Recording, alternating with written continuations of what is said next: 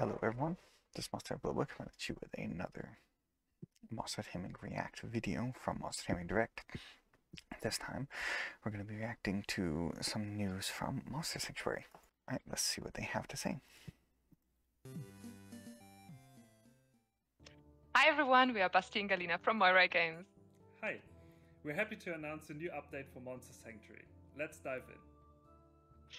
The Relics of Chaos update will include a new game mode that is combinable with the other optional game modes. New game mode is always cool. New game mode, a special relic is hidden inside a random treasure chest in each of the areas.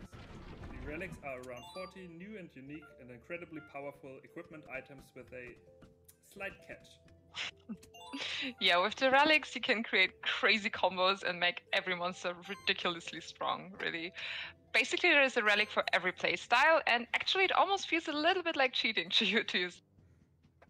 Uh, besides the new game mode, we also added a few new skills and made some balancing changes to keep the game fresh.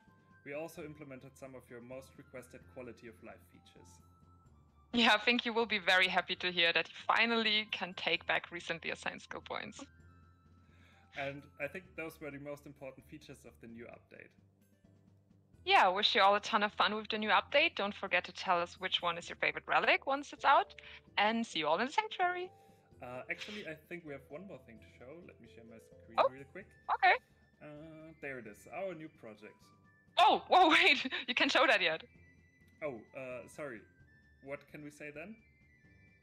Um, we can say that we are working on our next game, and if you want to be among the first to know about it, you can join our Discord. There will be more information on it very soon. Bye! Bye.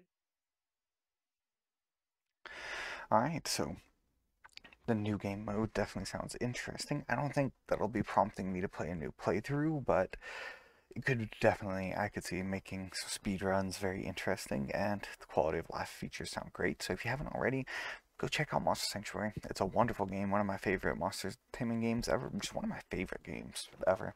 The DLC is great, everything about it is great, and I will definitely be keeping an eye out for their new project.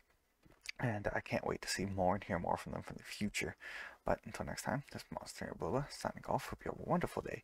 Goodbye, God bless, and I'll see you all in the next one. Bye bye.